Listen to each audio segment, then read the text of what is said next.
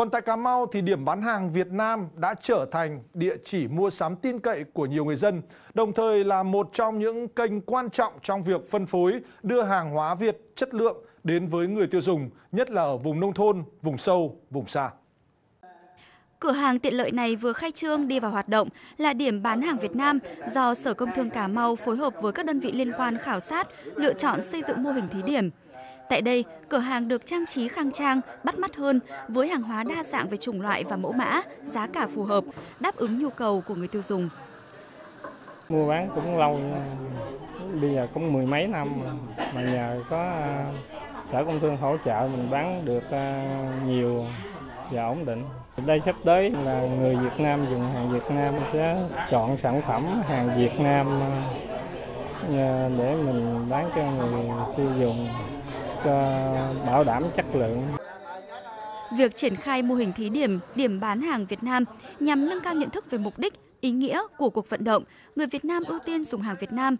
Qua đó giúp người tiêu dùng, cơ quan, đơn vị, tổ chức nhận thức đầy đủ hơn về trách nhiệm, quyền lợi khi tiêu thụ sản phẩm, hàng hóa trong nước, đặc biệt là vùng nông thôn được tiếp cận trực tiếp với hàng hóa có thương hiệu, đầy đủ thông tin để so sánh, từ đó yên tâm khi tiêu dùng hàng Việt Nam.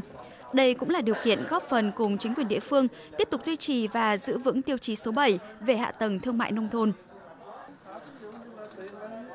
Đây à, có thể là nói là một mô hình à, của xã. À, qua đó thì xã sẽ nhân rộng, tuyên truyền cho bà con đến để mua bán và có thể tham quan và mở cái cửa hàng tại hộ gia đình của mình trong thời gian tới.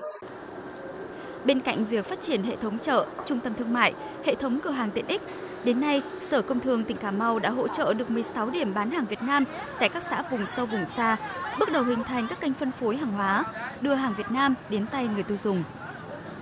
Sở Công Thương sẽ tiếp tục à, nhân rộng cái mô hình à, điểm bán hàng Việt à, trên địa bàn tỉnh với tên gọi là tự hào hàng Việt Nam, tinh hoa hàng Việt Nam ở tại các địa phương để tạo cái kênh à, phân phối hàng hóa Việt à, cho người dân trên địa bàn tỉnh à, mua sắm. Tới đây, Cà Mau sẽ tiếp tục tăng cường phối hợp, chú trọng tuyên truyền, giới thiệu, tôn vinh sản phẩm, hàng hóa Việt Nam chất lượng cao, đặc biệt tiếp tục giả soát, hỗ trợ xây dựng nhãn hiệu, thương hiệu các sản phẩm có thế mạnh của địa phương, tăng cường giới thiệu, kết nối để hàng Việt có thể đi sâu vào đời sống và tạo thói quen cho người tiêu dùng ở mảnh đất cực Nam.